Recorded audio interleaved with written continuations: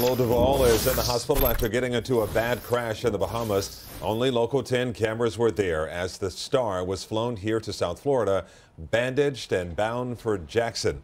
And that's where we find Local 10's Hatzel Vela live now with more on the comedian's condition. Hatzel. So, Cobbins, uh, despite some significant pain, he seems to be doing well. He's up, he's alert. In fact, he's been posting on social media telling his fans what's happening in the hospital. The one and only there as the plane lands at Fort Lauderdale Executive Airport. On board that Trinity Air ambulance is well known comedian Lil Duval. This is one of his music videos on YouTube. Can I put a smile on your face? The 45 year old describes himself as a stand up comic and recording artist, a finalist on BET's comedy competition.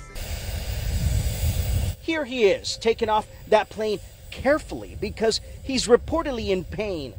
Minutes later, while being taken from that Trinity Air ambulance to the ground ambulance, he seems to notice our cameras, smiles, and gives us the peace sign on Instagram, where he's followed by more than 3 million people. He tells his fans he was on a four wheeler when he was hit by a car. Lil Duval is seen on his Instagram video all bandaged on a stretcher, then loaded onto a plane. On social media, he says he has a broken leg. The accident happened reportedly on Tuesday in the Bahamas.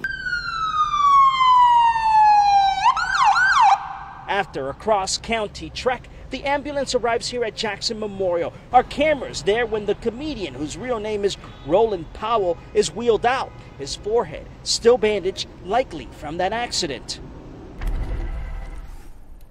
And so tonight, some good news. The comedian posting on social media that doctors here at JMH did not find any internal bleedings, which he says is amazing given the nature of that accident.